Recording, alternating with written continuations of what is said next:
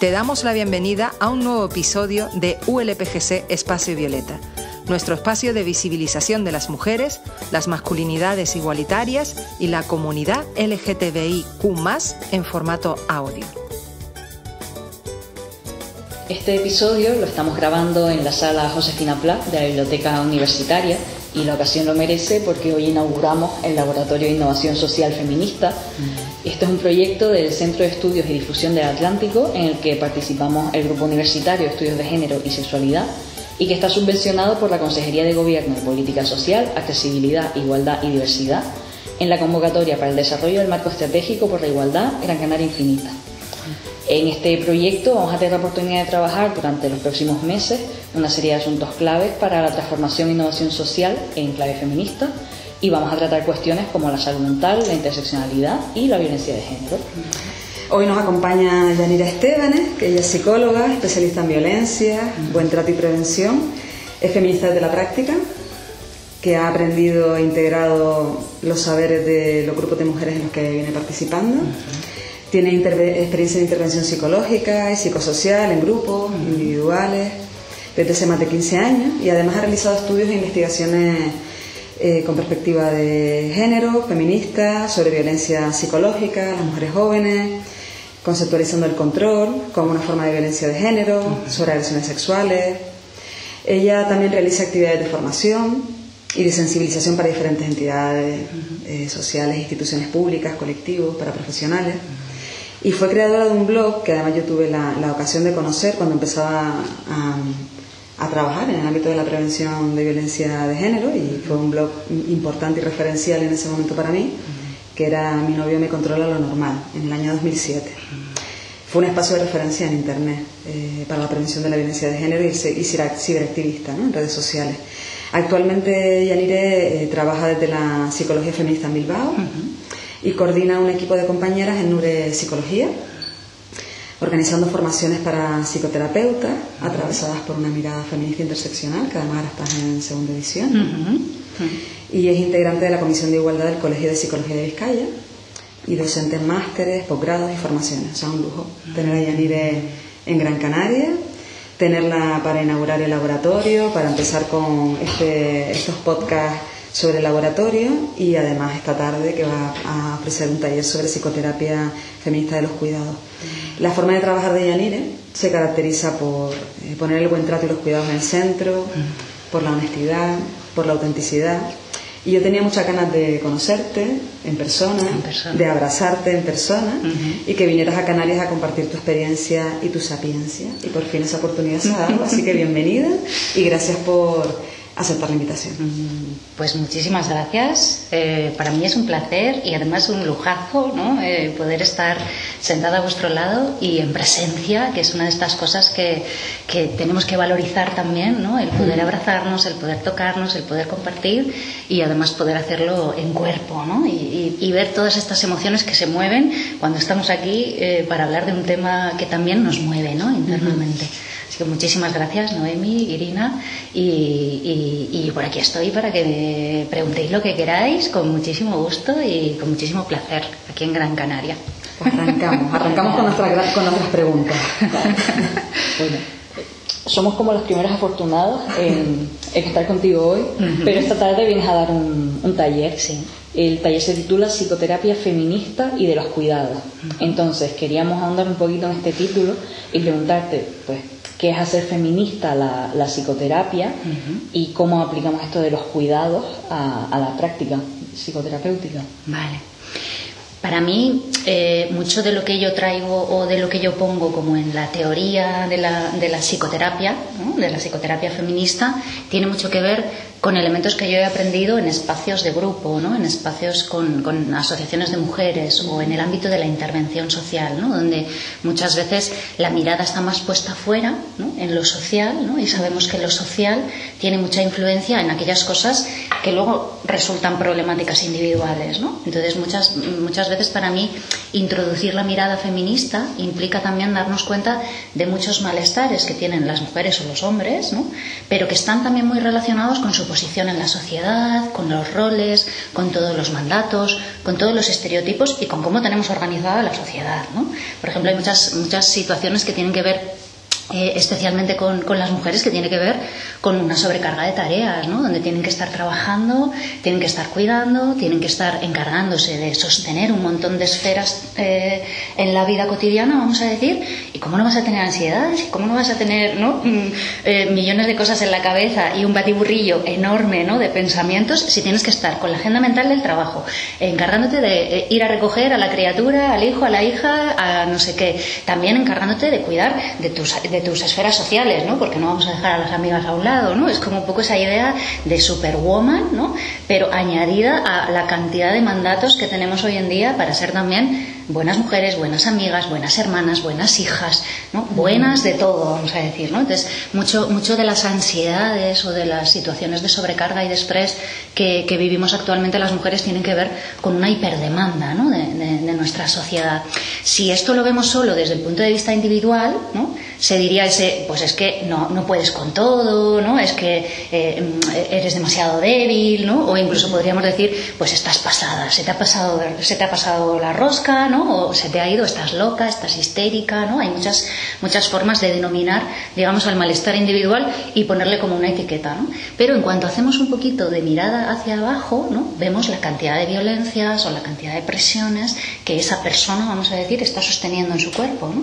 Y cuando yo estoy sosteniendo un montón de presiones, pues claro que se me va a la cabeza, pienso en millones de cosas, ¿no? O estoy estresadísima y entonces, mm, pues hago mm, o bien para adentro o bien para afuera una expresión que se considera extraña o no normal, digamos, ¿no? Para mí también es importante entender que mucho de la psicología feminista está muy enraizada también eh, con, una psicología que también mire hacia cómo eh, tenemos eh, organizadas las estructuras sociales, pero también las estructuras laborales. ¿no? Una psicología feminista también tiene que ser anticapitalista, ¿no? también tiene que ser interseccional en el sentido de entender que no solamente es la opresión por ser mujer, ¿no? sino que hay otras muchas opresiones que influyen muchísimo. ¿no? Y ahí hablamos de cómo la salud mental está atravesada por situaciones sociales. ¿no? Si yo no, no llego a, a, poder cubrir mis gastos a fin de mes, ¿cómo no voy a estar estresada, cómo no voy a estar ansiosa, cómo no me voy a meter en millones de cosas, ¿no? Si lo que necesito es llegar a cubrir un mínimo, ¿no? Para poder tener mis necesidades vitales cubiertas, ¿no? Ahí es donde decimos incluso que actualmente hay muchísima cantidad de malestares, de, trastornos de salud mental que se pueden hasta, hasta identificar como trastornos ya, ¿no? ¿no? No es solo un malestar, sino que es ya algo crónico o algo que se queda, digamos, en, en la persona o en el cuerpo emocionalmente, que tiene mucho que ver con esa sensación de que estoy sobreviviendo todo el rato, ¿no? Si yo tengo que estar sobreviviendo para llegar a comer, para llegar a pagar el piso eh, en el que vivo o la casa en la que vivo, o para poder llegar a, sostener a la familia o a, poder hacer un, trayecto y unos estudios universitarios porque no llego a poder pagarlos. ¿no? Si tengo que estar sosteniendo una gran cantidad de cosas, pues obviamente también emocionalmente eso tiene, tiene, un, tiene una repercusión enorme. ¿no? Ahí es donde decimos que, que, no es que estemos locas, ¿no? sino que lo, que lo que ocurre es que nuestra sociedad nos está enloqueciendo, ¿no? porque nos está diciendo llega a todo pero, pero bien. Además tú tienes que estar bien regulada, ¿no? Tranquila, ¿no? Hay prisa para que hagas mogollón de cosas, pero tú tranquila, ¿no? Una sonrisa, ¿no? Estate amable, cuida de los demás y no, no te vuelvas loca, digamos, ¿no? Pues muchas veces es la sociedad la que nos enloquece en ese sentido, ¿no? Para mí también es importante entender que además la psicología o la psiquiatría ¿no? o la medicina en muchas ocasiones lo que ha hecho ha sido nombrar malestares sociales y les ha puesto una etiqueta, ¿no? Ha dicho tú lo que tienes es trastorno bipolar o tú lo que tienes es ¿no? una manía o un ¿no? Eh, incluso sabemos que históricamente hay, hay, digamos como conceptos ¿no? que lo que hacen es eh, poner la culpa o la responsabilidad en la persona. ¿no? Las histéricas, históricamente, ¿no? han sido mujeres que eran abusadas sexualmente, ¿no? que habían sufrido violencias sexuales en la infancia y tenían una sintomatología que no se sabía explicar, ¿no? pero nunca nadie les preguntó por qué tienes esa sintomatología, ¿no? o qué te ocurre, o qué te ha pasado. ¿Alguien te ha hecho daño en tu familia? ¿Te han... ¿no? no se les preguntaba a ellas, veía la sintomatología y punto, ¿no? O hay un ejemplo también muy claro, hay una, una enfermedad que se llamaba eh, la terapetomanía, creo que es, que era una, una, enfermedad que se diagnosticaba a los esclavos y esclavas negros, negras, ¿no? cuando querían escaparse de su situación de esclavitud. ¿no? Era como este esclavo es rebelde, ¿no? este esclavo eh, no, no, se queda tranquilo, ¿no? no está que se quiere marchar todo el rato. ¿no? Socialmente diríamos, ¿cómo no te vas a querer marchar de una situación de esclavitud? ¿no? Entonces la psiquiatría decía, este esclavo no es suficientemente, digamos, no está dentro de, de lo que se consideraría que, que entra en su, en su encaje personal. ¿no? Por eso para mí es muy importante que hagamos miradas críticas a cómo se han conceptualizado, a cómo hemos aprendido ¿no? eh, qué es una enfermedad mental.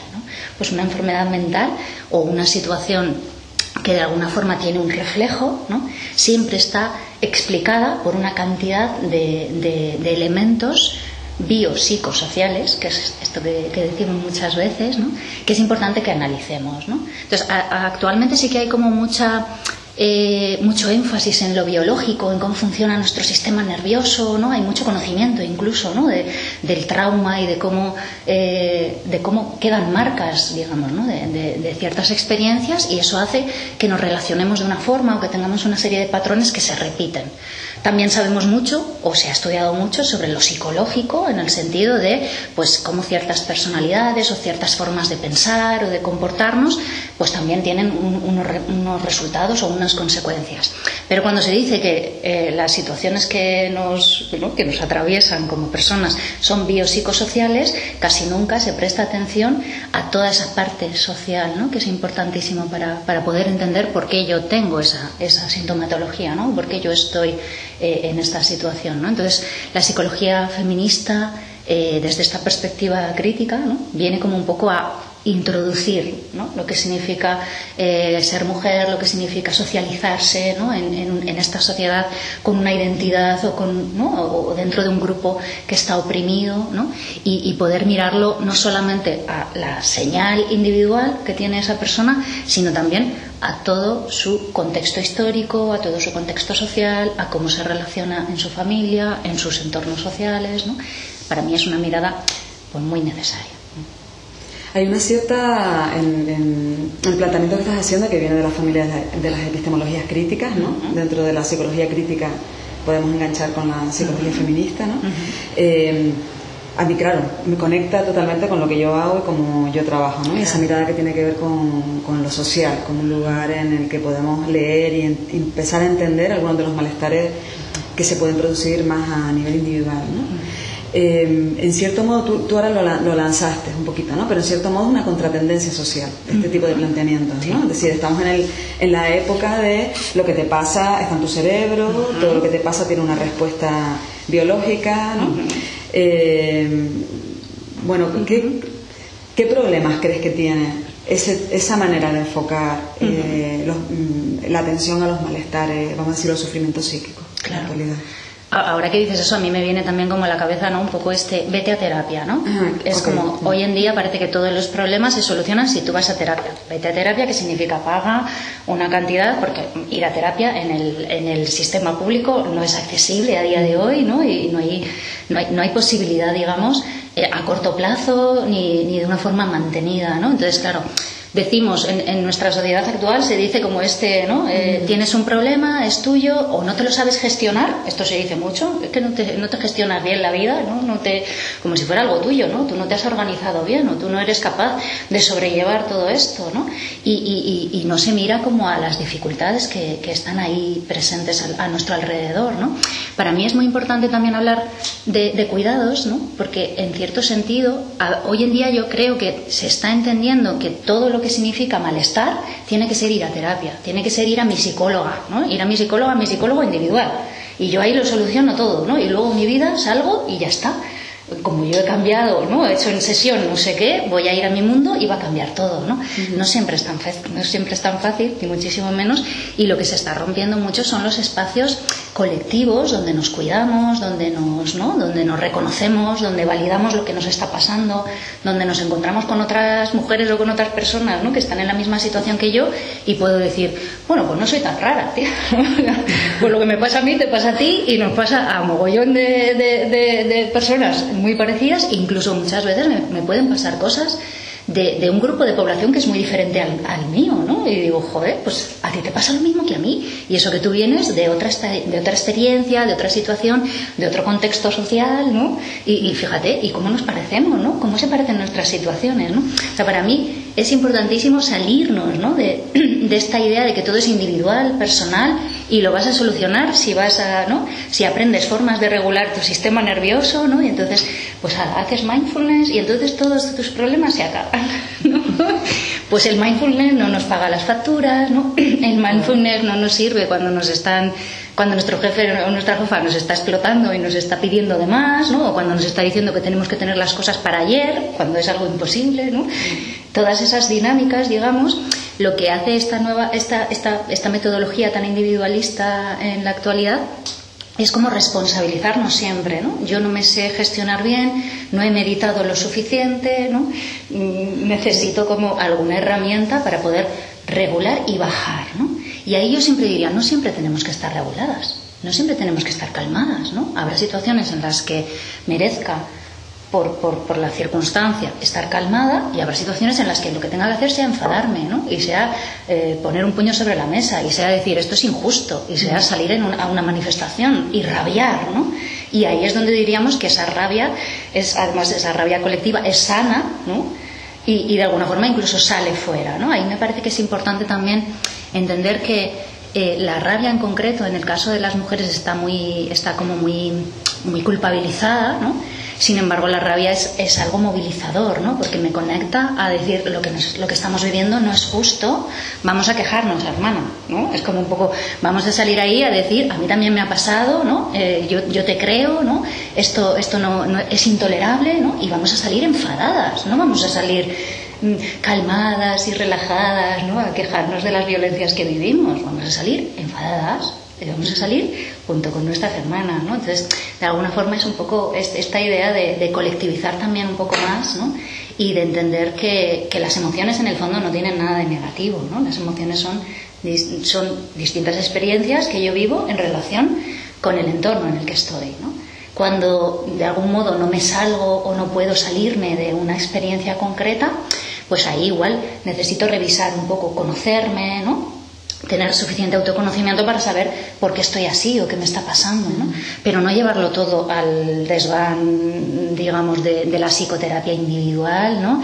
Y no considerar que esa es la solución para todos los problemas, ¿no? Quizá ahí, en, el espacio terapéutico, yo puedo darme cuenta de ciertas cosas, pero luego tengo que hacer cambios en mis grupos, ¿no? En los grupos de amistad eh, en los que estoy o en, los espacios familiares o sociales en los que, en los que estoy viviendo constantemente. En, lo que estás hablando, eh, has ido dando pinceladas sobre lo que significa un análisis de género a las cuestiones de salud mental, ¿no? Y cómo efectivamente que no existe ese análisis de género se puede, puede reproducir formas eh, sexistas de relación terapéutica, ¿no? Como por ejemplo esto que decías, estate calmada, ¿no? O que se afirme una, un, un marco relacional y un marco emocional en el que no tengamos mucho margen para poder eh, rebelarnos ¿no? contra, contra esas emociones que nos pueden estar incluso dañando. ¿no? Entonces, ¿qué crees tú que aporta un análisis de género a la salud mental? Yo creo que sobre todo aporta mucho entendimiento, Eh, como esa posibilidad de identificar ¿no? que lo que me está ocurriendo no es extraño, ¿no? porque de alguna forma eh, el, concepto de salud mental o el concepto de salud en general ¿no? está tan basado en un estereotipo, ¿no? está precisamente basado en el estereotipo. La persona normal tiene esta media ¿no? a, nivel analítico, ¿no? en unos análisis tú tienes que tener entre esto y esto. ¿no? A nivel de funcionamiento mental tú tienes que funcionar de una forma media, normal. ¿no? Esto que se llama normal, que nunca es normal, sino que significa la, la media de la población. Pero ¿qué ocurre con las personas que se quedan ¿no? en los extremos de estas medias? No son personas normales, sí que lo son, ¿no? Lo que pasa es que su funcionamiento es diferente, ¿no? Existen funcionamientos distintos a nivel cerebral, ¿no? Y esto no lo, no lo visibilizamos apenas, ¿no? Es como el funcionamiento debe ser este, ¿no?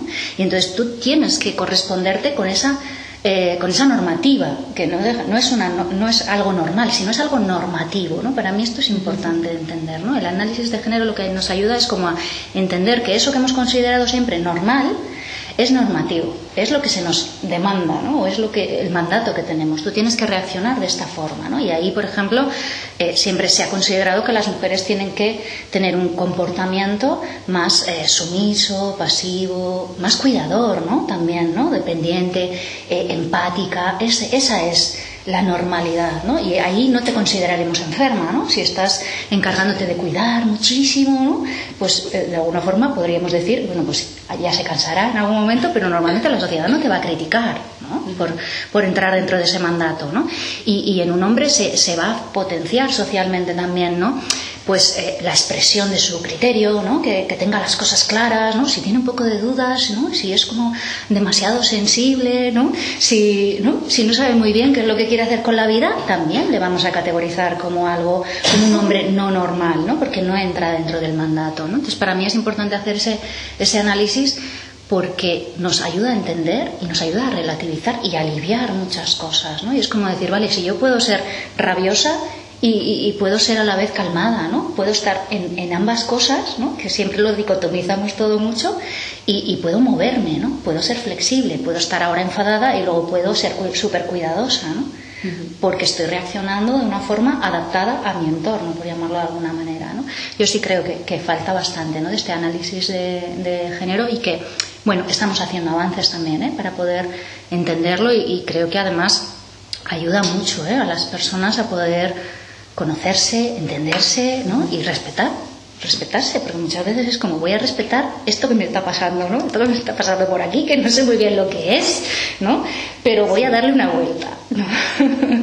Sí, sí. Qué guay. No, es que nadie se salva, ¿no? es, inevitable. Hasta vas a terapia y hasta la terapia está mediada por todo.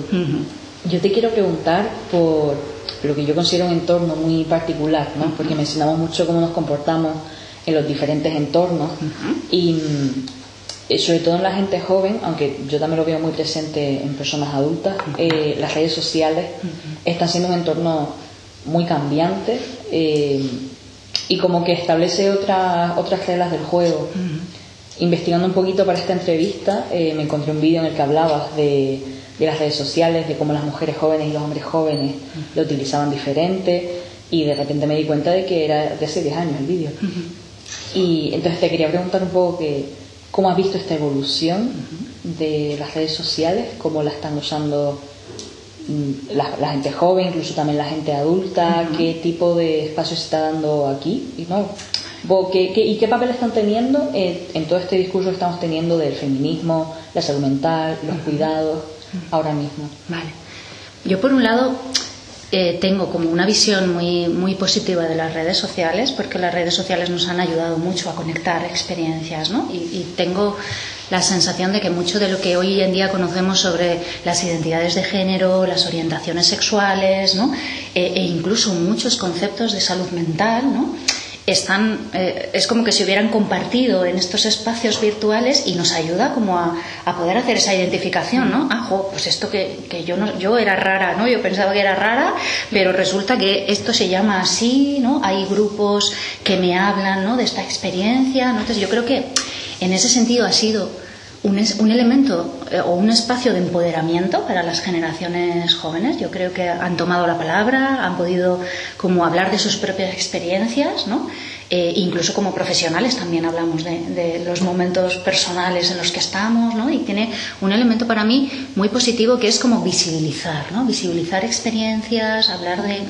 Pero a la vez sí que creo que en los últimos años ha habido un, una, un sobreimpulso de, aquellos movimientos en redes sociales que son competitivos, que buscan como esa presión social por aparentar una imagen, que es una imagen obviamente eh, muy basada en, el modelo de belleza, en, un, cuerpo eh, delgado, blanco. Eh, que entre dentro de los cánones que consideramos socialmente como belleza y, y que de alguna forma sí se han generado muchos espacios donde podríamos decir, nos sentimos seguras, ¿no? porque yo me relaciono con gente que piensa como yo en las redes sociales, ¿no?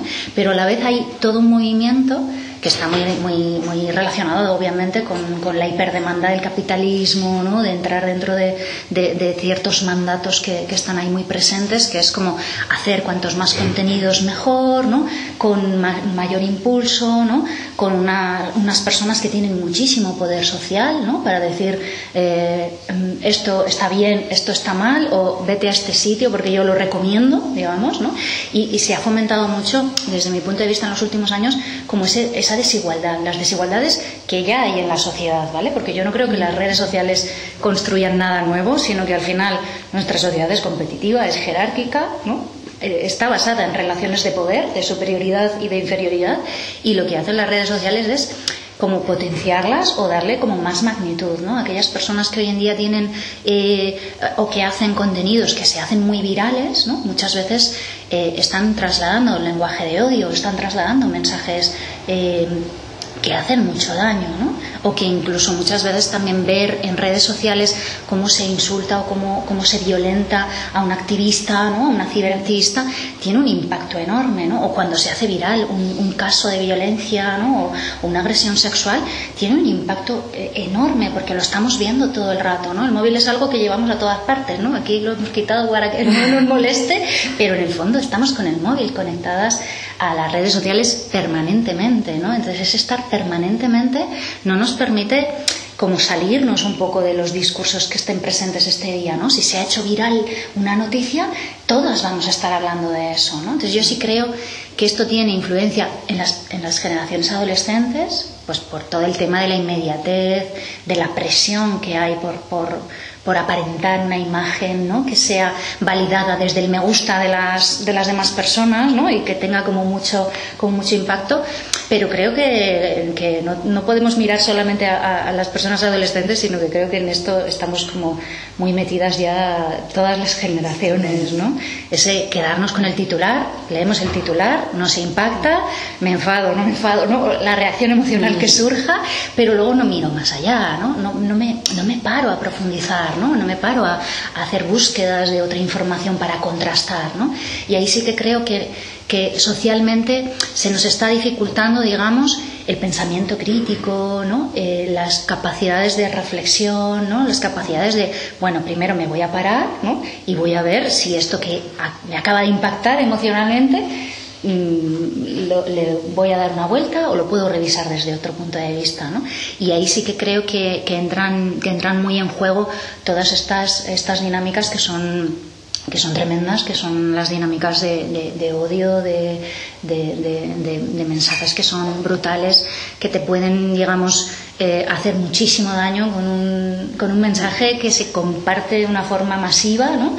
y, que, y que de alguna manera luego muchas veces eh, hasta la persona tiene que defenderse, tiene que ser la persona la que coge y dice esto que ha se ha dicho sobre mí no es cierto, ¿no? O, o, yo no dije esto, pero incluso eso no se comparte de una forma tan grande, ¿no? Se comparte o se masifica, vamos a decir, la respuesta de odio, de insulto, de, ¿no? de agresividad y de agresión y las respuestas que, que están más relacionadas con el buen trato, con vamos a pensar, con vamos a abrir una pregunta, ¿no? Y vamos a, a ser reflexivas generalmente no generan ¿no? este impacto. También está muy fomentado ¿eh? por el propio funcionamiento de las propias redes sociales, los algoritmos y todas estas cosas, pero sí creo que, que las redes están siendo los nuevos, los nuevos espacios donde se ven las problemáticas sociales. ¿no? Ahí se ve pues el racismo que, seguimos sosteniendo, aunque digamos yo no soy racista, ¿no?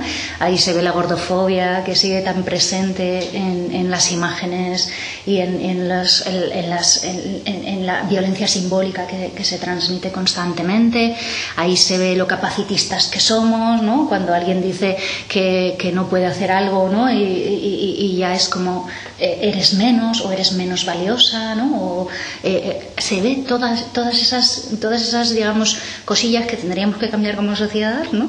Las vemos como en una especie de panorama donde vemos todas los, todos los problemas, ¿no? Uh -huh. Pero también tienen cosas muy buenas, ¿eh? A mí me gusta siempre como lanzar también esta, esta idea pues lo que dices, igual yo hace 10 años, ¿no? Lo que, lo que les decía precisamente a las, a las mujeres jóvenes era coged las redes sociales y tomad voz ¿no? O sea, tomad vuestra voz, no, es, no soy yo la que tiene que hablar de las mujeres jóvenes, ¿no? Son las mujeres las que tienen que hablar de sí mismas, ¿no?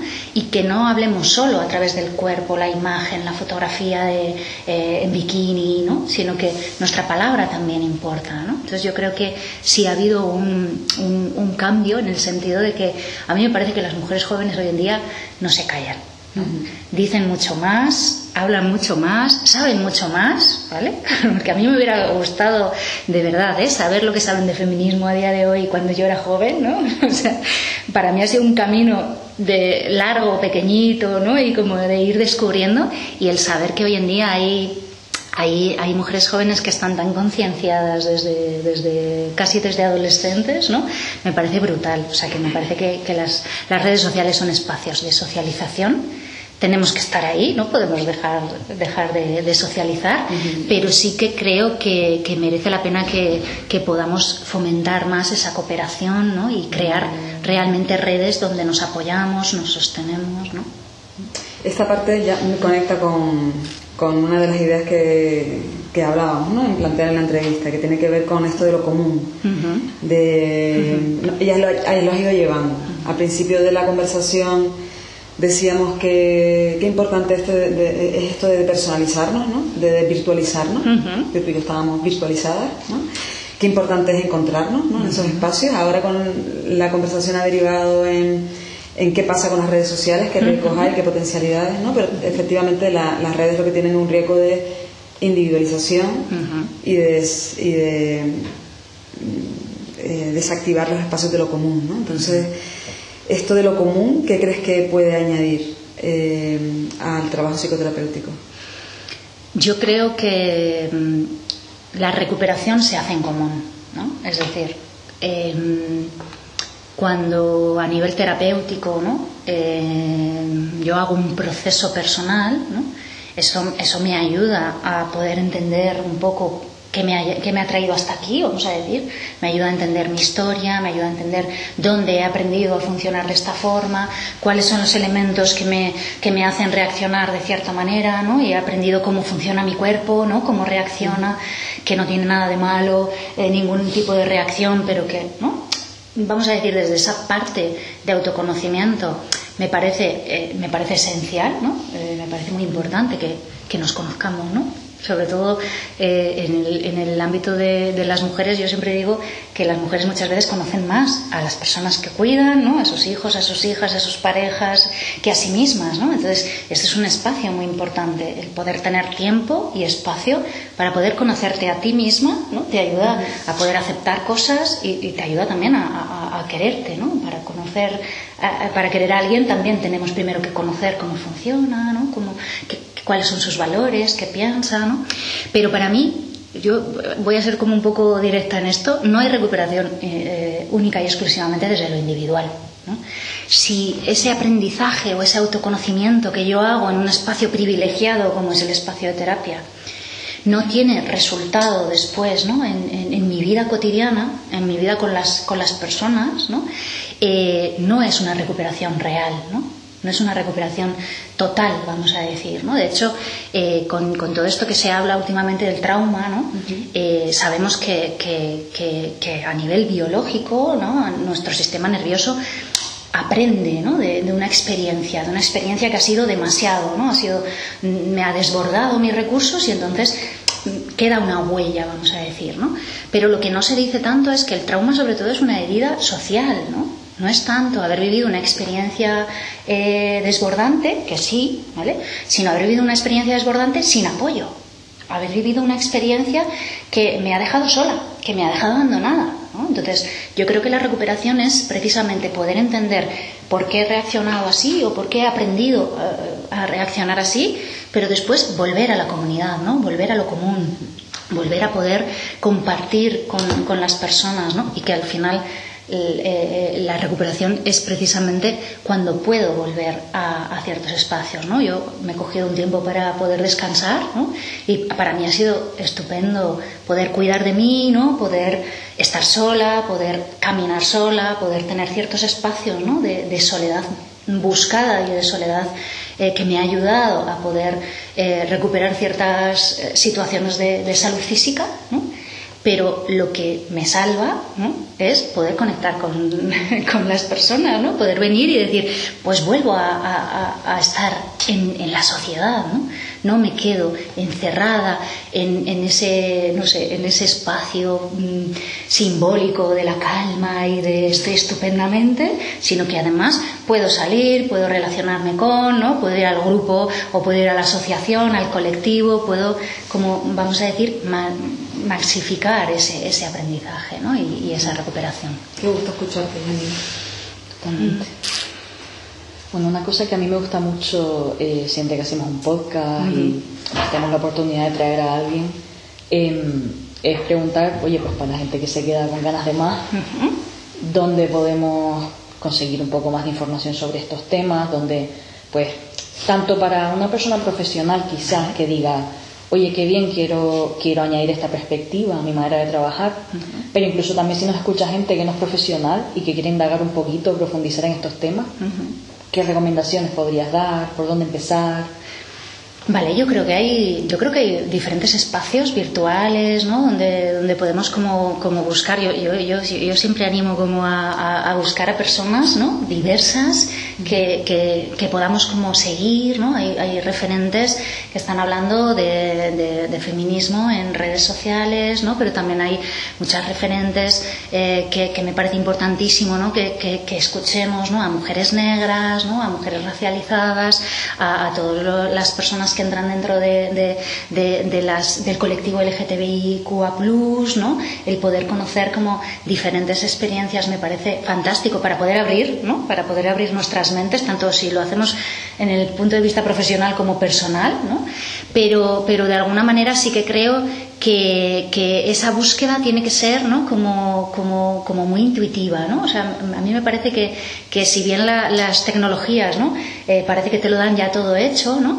Eh, es importante que nos salgamos como de las burbujas habituales. ¿no? Normalmente en nuestras redes sociales ya solamente vemos aquellos contenidos de las personas con las que más interactuamos, ¿no? pero siempre existe un apartadito que pone buscar, ¿no? una linterna, ¿no? un, un, algo que, que, te hace como ir a más allá. ¿no? Entonces, que busquemos, Eh, que busquemos sobre aquellas palabras que nos interesan, ¿no? Eh, hay ciertas palabras clave, ¿no? Psicología, feminismo, eh, feminismos en plural, ¿no? Interseccionalidad. Y ahí nos vamos a encontrar un montón de debate, un montón de discurso y un montón de referentes que también me parece importante. podemos como también hacer un listado ¿no? de, referentes para, para recomendar y, luego sobre todo a mí sí me parece que como eh, un poco en mi, labor actual, ¿no? Yo estoy como intentando ser muy rebelde, ¿no? En el, campo de la, psicología, ¿no? Para poder integrar esta mirada y sí que estamos haciendo formación eh, formación concreta atravesada por la experiencia, ¿no? con profesionales que trabajan eh, en este ámbito, también con, situaciones que les atraviesan personalmente. ¿no? Y creo que es importante también estar en conexión ¿no? entre, entre profesionales que trabajamos esto. Así que, bueno, pues también por si entra un poquito esta posibilidad, pues hay una formación que hacemos desde psicologiafeminista.org y, y, que, y, que, se puede como acceder a, a, distintas temáticas que, que, es muy interesante que, que podamos eh, resolver también en colectivo, ¿no? Que no es una formación que dé yo, sino que es una formación ¿no? que damos cada una de las profesionales que, que, entramos en, en, esta, en esta red, ¿no? Así que bueno, pues eh, yo creo que tenemos que seguir por ahí y que, y que cada vez somos más también, ¿no? Me apetece como, como hacer esta, esta realidad, Qué bueno. que cuando nos juntamos, ¿no? Nos damos cuenta de, de, esa capacidad que tiene también la red de poder acercarnos, ¿no?